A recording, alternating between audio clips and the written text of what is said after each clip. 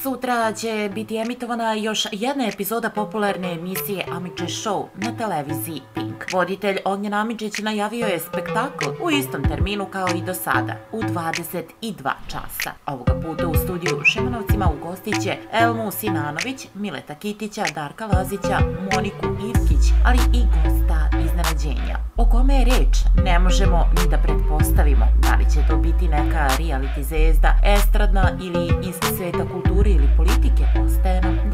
Odmah nakon toga održat će se žurka u Zadruzi, a ko će pevati i da li možda baš neko od gostiju, ostaje nam da.